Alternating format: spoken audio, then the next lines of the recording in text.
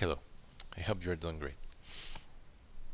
So today we are going to see a small example of how to implement visitor trackings in Blazor WebAssembly applications.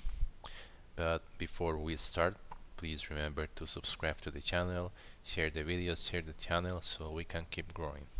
Thank you very much. So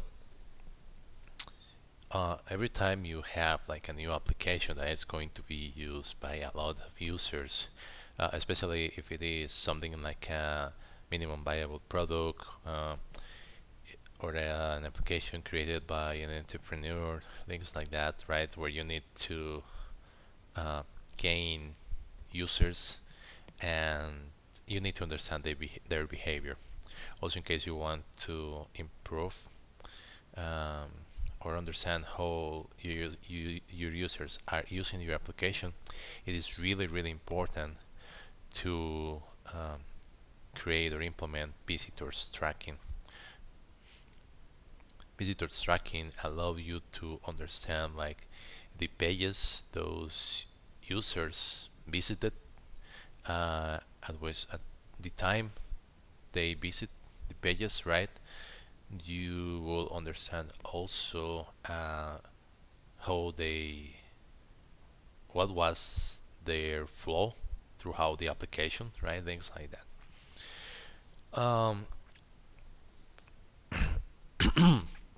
today we are going to see a basic implementation of visitor tracking in uh, Blazor WebAssembly and it is a custom implementation. So basically one of the first things you need to do is creating a table that will have a couple of fields. Uh, it'll have like the country, the remote IP address, the user agent, right?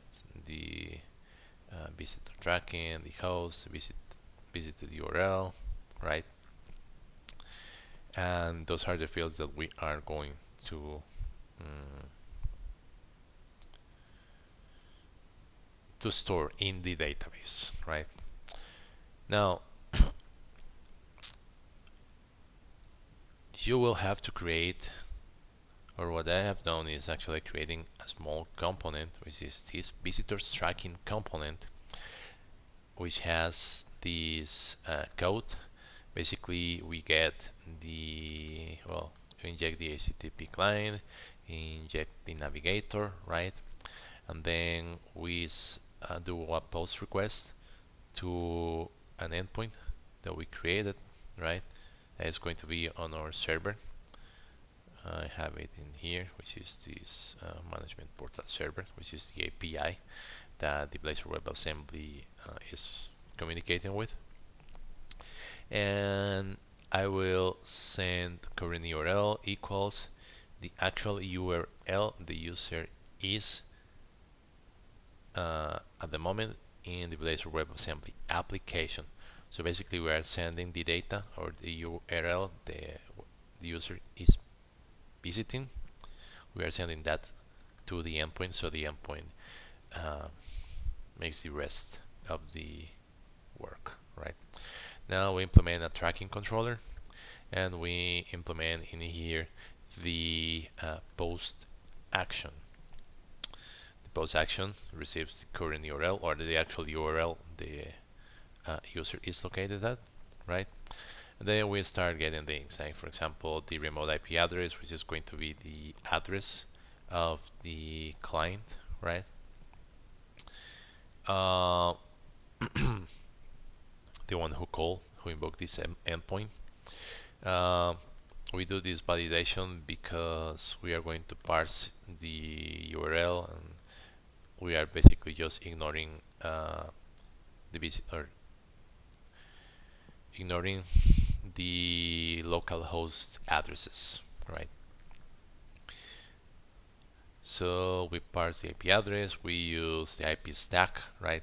We want to get the location that corresponds to that IP address. We get the country from there.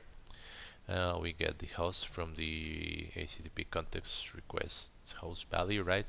We get the user agent from the request headers, right? Then we set all of these values right to the model.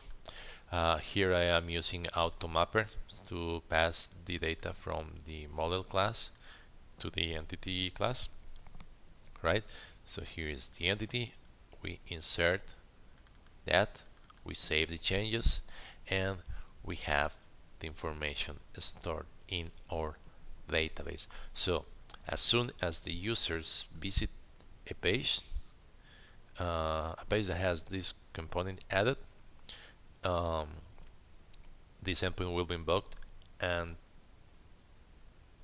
that information will be uh, saved so you will see that for example in a couple of pages in the users portal. For example the index. Basically what I have is this component in here which is the component we just saw. So it is going to be rendered as soon as this page is visited and it will uh, store the visitors information. Then you reproduce that on all of the pages that you want uh, you want to have tracking right? I hope this video has been helpful. Thank you very much and have a great day. Remember please subscribe to the channel share the videos and tell your friends to subscribe to so we can keep growing